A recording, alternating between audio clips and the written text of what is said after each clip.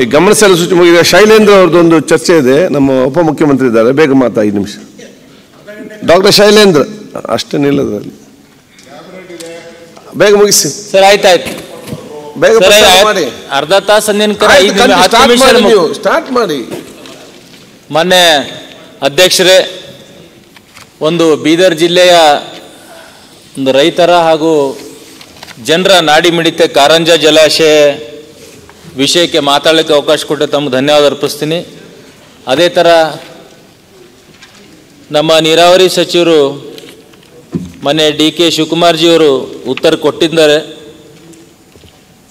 ಪರಿಹಾರ ಕೊಟ್ಟಿದ್ದೀವಿ ಅಂತ ಅದು ಅದು ಸಮಂಜಸಲ್ಲ ಸುಮಾರು ಹತ್ತೊಂಬತ್ತು ನೂರ ಎಪ್ಪತ್ತೊಂದು ಎಪ್ಪತ್ತೆರಡು ಭೂ ಸ್ವಾಧೀನ ನಡೀತಾ ಇದೆ. ಎಂಬತ್ತೆರಡರಲ್ಲಿ ಪೇಮೆಂಟ್ ಆಗಿದೆ. ಸುಮಾರು ಇಪ್ಪತ್ನಾಲ್ಕು ಸಾವಿರದ ನಾಲ್ಕುನೂರ ಅರವತ್ತೆರಡು ಎಕರೆ ಆ ಜಲಾಶಯಗೋಸ್ಕರ ಭೂ ಸ್ವಾಧೀನ ಆಗಿದೆ.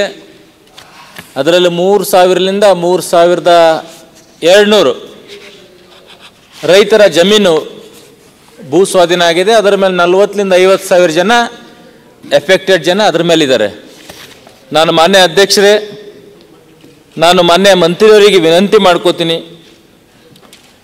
ಯಾಕಂದರೆ ಪರಿಹಾರ ಅವಾಗ ಸುಮಾರು ಐದುನೂರು ಜನ ಅಷ್ಟೇ ಕೋರ್ಟಿಗೆ ಅಪ್ಲೈ ಮಾಡಿದ್ದಾರೆ. ಅವರಿಗಷ್ಟೇ ಅನೌನ್ಸ್ಮೆಂಟ್ ದುಡ್ಡು ಸಿಕ್ಕಿದೆ.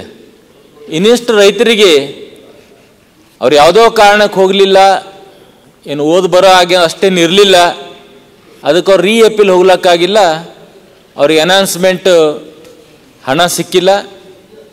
ಆವಾಗ ಮೂರು ಸಾವಿರದಿಂದ ಮೂರು ಸಾವಿರದ ಎರಡು ನೂರು ಪರ್ ಎಕರೆ ಹತ್ತೊಂಬತ್ತು ನೂರ ಎಂಬತ್ತೊಂದು ಎಂಬತ್ತರಲ್ಲಿ ರೈತರಿಗೆ ಪರಿಹಾರ ಸಿಕ್ಕಿತ್ತು ಅಧ್ಯಕ್ಷರೇ. ಪಾಪ ಬೀದರ್ ದಕ್ಷ ಇಪ್ಪತ್ತೆಂಟು ಟೋಟಲ್ ಬೀದರ್ ಬರುತ್ತೆ.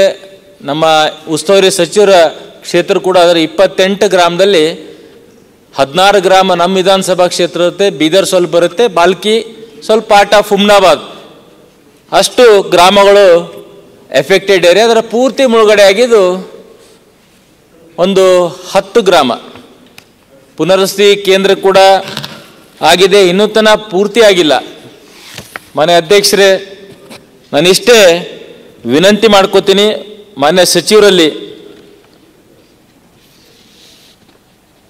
ಸುಮಾರು ಈಗಿದ್ದಂಥ ಕಾರಂಜ ಜಲಾಶಯ, ಇಡೀ ಬೀದರ್ ಜಿಲ್ಲೆ ರೈತರಿಗೆ ನೀರು ಕೊಡಬೇಕು, ರೈತರ ಜೀವನ ಉದ್ಧಾರ ಮಾಡಬೇಕಂತ ಅದು ಡ್ಯಾಮ್ ನಿರ್ಮಾಣ ಆಗಿತ್ತು, ಅರೌಂಡ್ ಸೆವೆನ್ ಪಾಯಿಂಟ್ ಸಿಕ್ಸ್ ಅದ್ರ ಕೆಪ್ಯಾಸಿಟಿ ಇದೆ.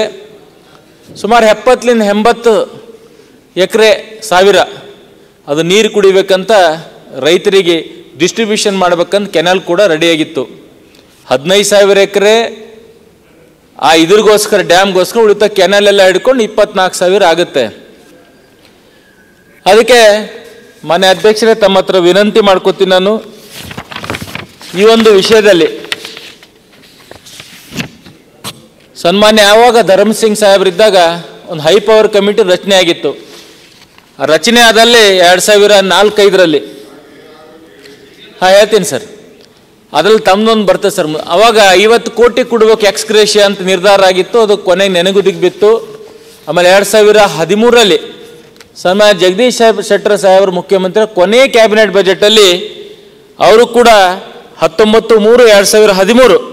ಅವಾಗ ಸಭೆಯಲ್ಲಿ ಪ್ರಕರಣ ವಿಶೇಷ ಪ್ರಕರಣ ಎಂದು ಭಾವಿಸಿ ಆರ್ಥಿಕ ಇಲಾಖೆ ಕಳಿಸಲಾಯಿತು. ಅವಾಗ ಎಲೆಕ್ಷನ್ ಡಿಕ್ಲೇರ್ ಆಯಿತು ಮೊನ್ನೆ ಮತ್ತೆ ಸಿದ್ದರಾಮಯ್ಯ ಸಾಹೇಬ್ರ ಸರ್ಕಾರ ಬಂತು. ಅವಾಗ ಐದು ವರ್ಷ ಕೂಡ ಸುಮಾರು ರೈತರು ಇದೇನಾಗಿದೆ ಸರ್? ನಾ ಯಾವ ಪಾರ್ಟಿ ಪಕ್ಷ ಆ ಸರ್ಕಾರ ಈ ಸರ್ಕಾರ ಅಂತ ಇಲ್ಲ ಸರ್. ಈಗ ಒಂದು ವರ್ಷ ಹಿಡಿದು ಅವ್ರ ಬೀದರ್ ಜಿಲ್ಲಾಧಿಕಾರಿ ಕಚೇರಿ ಎದುರು ಪಾಪ ಧರಣಿ ಕೂತಾರೆ ಒಂದು ವರ್ಷ ಆಯಿತು. ಒಂದು ವರ್ಷ ಆಯಿತು. ಮತ್ತು ಅವಾಗ ವಿಷಯ ಹೇಳ್ತೀನಿ ಸರ್. ಸೆಕೆಂಡ್ ಟೈಮ್ ಸರ್ ಎರಡು ಸಾವಿರ ಹದಿನೆಂಟು ಹತ್ತೊಂಬತ್ತು ಸರ್ಕಾರ ಬಂದ ಅವಾಗ ಕೂಡ ಡಿ ಕೆ ಶಿವಕುಮಾರ್ ಸಾಹೇಬರು ಮಂತ್ರಿ ಇದ್ದರು. ಎಪ್ಪತ್ತೆರಡು ದಿನ ಅಲ್ಲಿ ಡಿ ಸಿ ಕಚೇರಿ ಕೂತ ಇವ್ರು ಮೊನ್ನೆ ಡಿ ಕೆ ಶಿವಕುಮಾರ್ ಸಾಹೇಬರು ಇಲ್ಲಿ ಕರೆದು, ಇಲ್ಲ, ಅವಾಗಿನಂತ ಎಲ್ಲ ಸಚಿವರು, ಶಾಸಕರು, ಸಂಸದರು ಕರೆದು, ಇಲ್ಲಪ್ಪ, ನಿಮ್ಮ ಪರಿಹಾರ ಕೊಡ್ತೀವಿ ಅಂತ ಅವಾಗ ಮಾತು ಕೊಟ್ಟರು ಮತ್ತೆ ಯಾಕೆ ಸರ್ಕಾರ ಬದಲಾವಣೆ ಆಯಿತು? ಮತ್ತೆ ರೈತರು ಕಷ್ಟದಲ್ಲೇ ನಾನು ಇಷ್ಟೇ ವಿನಂತಿ ಮಾಡ್ಕೋತೀನಿ ಅವರಿಗೆ, ಒಂದು ವೈಜ್ಞಾನಿಕ ಬೆಲೆ ಕೊಡಬೇಕು ಯಾವುದೊಂದು ಒಂದು ಸಣ್ಣ ಪ್ಯಾಕೇಜ್ ಕೊಡ್ಬೇಕು. ಯಾಕಂದ್ರೆ ಅದು ಅವ್ರ ಆಲ್ಮಟ್ಟಿ ಮಾದರಿ ಕೇಳ್ತಾ ಇದ್ದಾರೆ ಹೆಂಗೆ ಮೂವತ್ತಾರು ಡ್ಯಾಮ್ಗಳು ರಾಜ್ಯದಲ್ಲಿ ಅಕ್ವಿಷನ್ ಆಗಿ ಪೇಮೆಂಟ್ ಮಾಡಿದ್ದಾರೆ. ಅದೇ ಥರ ಪೆಂಡಿಂಗ್ ಉಳಿದಿದೆ ಅಂದ್ರೆ ಕಾರಂಜ ಜಲಾಶಯ ಅಷ್ಟೇ.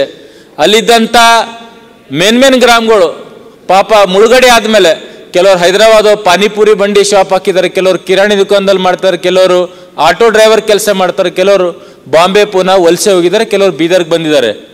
ಅದಕ್ಕೆ ವೈಜ್ಞಾನಿಕ ಬರಲ್ಲ ಅಂತ ಅಧಿಕಾರಿಗಳು ಹೇಳ್ತಾರೆ ನಾನು ಇಷ್ಟ ವಿನಂತಿ ಮಾಡ್ಕೋತೀನಿ.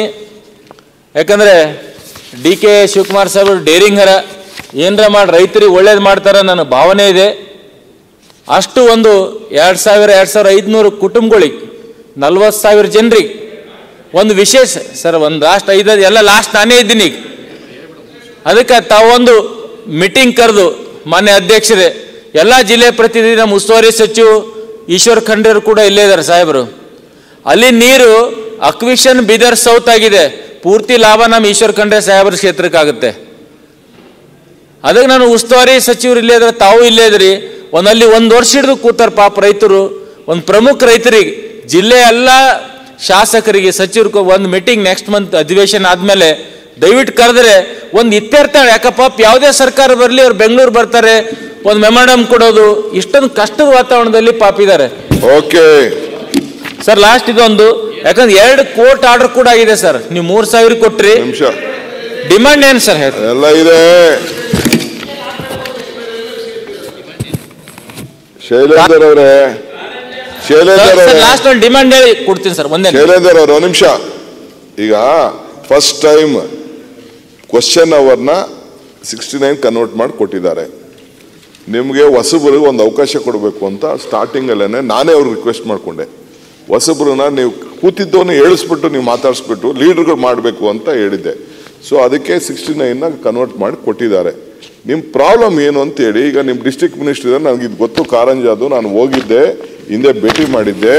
ಇಷ್ಟೊತ್ತಿಗೆ ನಿಮ್ಮ ಎಲ್ಲರನ್ನೂ ಕೂಡ ಇರಿಗೇಷನ್ ಸಂಬಂಧಪಟ್ಟಂಥ ಶಾಸಕರನ್ನ ಕರೆದು ಮಾತಾಡಬೇಕು ಅಂತ ಆಲೋಚನೆ ಮಾಡಿದ್ದೆ. ಸ್ವಲ್ಪ ರಾಜಕೀಯದ ಒತ್ತಡದಲ್ಲಿ ಸ್ವಲ್ಪ ನಾನು ಬ್ಯುಸಿ ಆಗ್ಬಿಟ್ಟೆ.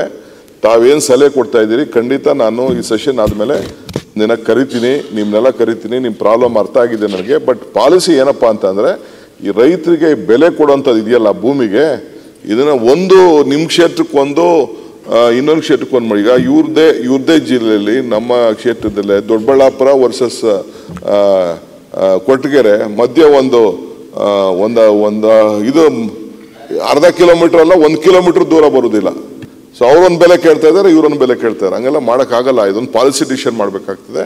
ರೈತರಿಗೆ ಸ್ವಲ್ಪ ಹಣ ಜಾಸ್ತಿ ಕೊಡಿ ಅಂತ ಕೇಳ್ತಾ ಇದ್ದೀವಿ. ಅದನ್ನ ಕರಿತೀನಿ ನಿಮ್ಮನ್ನು ಕರಿತೀನಿ. ಒಂದಿನ ಟೈಮ್ ಸಿಕ್ಕದ್ ನೀವು ಸಮಾಧಾನ ಆಗಲಿಲ್ಲ ಅವ್ರನ್ನೂ ಕಮ್ಮಿ ದಿನ ಕರ್ಕೊಂಡು ಬನ್ನಿ. ಏನಾದ್ರು ಮಾಡಿ ನಾನು ಡಿಸ್ಟ್ರಿಕ್ಟ್ ಮಿನಿಸ್ಟರ್ ಎಲ್ಲ ಕುತ್ಕೊಂಡು ಮಾತಾಡೋಣ. ಈಶ್ವರ್ ಮಾನ್ಯ ಸಭಾಧ್ಯಕ್ಷರೇ ಮಾನ್ಯ ಮಂತ್ರಿಗಳ ಗಮನಕ್ಕೆ ನಾನು ತರಲಿಕ್ಕೆ ಏನು ಇಚ್ಛೆ ಪಡ್ತಾ ಇದ್ದೀನಿ ಅಂತ ಹೇಳಿದರೆ ಇದು ಬಹಳ ಎಪ್ಪತ್ತರ ದಶಕದಲ್ಲಿ ಪ್ರಾರಂಭ ಆಗಿದ್ದಂಥದ್ದು ಕಾರಂಜ ಯೋಜನೆ, ಈ ಯೋಜನೆಯಲ್ಲಿ ಸಾವಿರಾರು ಎಕರೆ ಭೂಮಿ ಸ್ವಾಧೀನಪಡಿಸಿಕೊಳ್ಳಲಾಗಿದೆ. ಅಂದಿನ ದಿನಮಾನಗಳಲ್ಲಿ ಭೂಮಿಗೆ ಬರೀ ಎರಡು ಸಾವಿರ, ಒಂದು ಸಾವಿರ ಈ ಥರ ಭೂ ಸ್ವಾಧೀನ ಮಾಡ್ಕೊಂಡು ಹಣ ಕೊಡಲಾಗಿದೆ. ಇದೇನು ಕಾರಂಜ ಸಂತ್ರಸ್ತರ ಹೋರಾಟ ಸಮಿತಿ ಅಂತೇಳಿ ರಚನೆ ಮಾಡಿಕೊಂಡು ಇತ್ತೀಚೆಗೆ ಏನು ಕೋರ್ಟ್ನಿಂದ ಎನ್ಹಾನ್ಸ್ ಪೇಮೆಂಟ್ ತೆಗೆದುಕೊಂಡಿದ್ದಾರೆ, ಅವರೆಲ್ಲರೂ ಸೇರಿ ಸಂಪೂರ್ಣ ಭೂಮಿ ಕಳ್ಕೊಂಡು ಬಿಟ್ಟಿದ್ದಾರೆ ಭೂಮಿಗೆ ಇಷ್ಟೇ ಬೆಲೆ ಅಂತೇಳಿ ಕಟ್ಟಲಿಕ್ಕೆ ಆಗೋದಿಲ್ಲ. ಸತತವಾಗಿ ಬಂದಂಥ ಸರ್ಕಾರಗಳ ಮೇಲೆ ಅವರು ಒತ್ತಡ ತಂದಿದ್ದಾರೆ. ಏನೋ ಒಂದು ಕಾರಣಕ್ಕಾಗಿ ಅದು ಕಾರ್ಯಗತ ಆಗಲಿಲ್ಲ. ಹಿಂದೆ ಒಂದು ಕ್ಯಾಬಿನೆಟ್ನಲ್ಲಿ ವಿಶೇಷ ಪ್ರಕರಣ ಅಂತೇಳಿ ಪರಿಗಣನೆ ಮಾಡಿ ಪ್ಯಾಕೇಜ್ ಕೊಡಬೇಕು ಅಂತ ಆಗಿತ್ತು.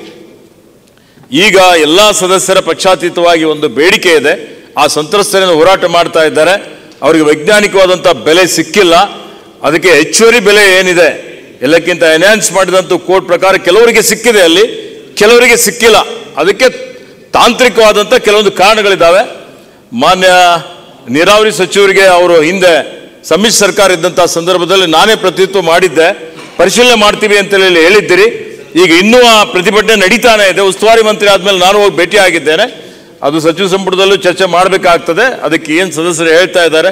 ನಾವೆಲ್ಲರೂ ಸೇರಿ ಅದಕ್ಕೆ ಪರಿಹಾರ ಒಂದು ಪರ್ಮನೆಂಟ್ ಆಗಿ ಶಾಶ್ವತವಾಗಿ ನಮ್ಮ ಬೀದರ್ ಜಿಲ್ಲೆ ರೈತರಿಗೆ ಮಾಡಬೇಕು ಅನ್ನುವಂಥದ್ದು ನನ್ನದು ಅದಕ್ಕೆ ಸಮ್ಮತ ಇದೆ ಅನ್ನುವಂಥ ಮಾತನ್ನು ಹೇಳಿಕೆ ಬಯಸ್ತೇನೆ. ಮೊನ್ನೆ ಅಧ್ಯಕ್ಷರೇ ಸಚಿವರಿಗೆ ಧನ್ಯ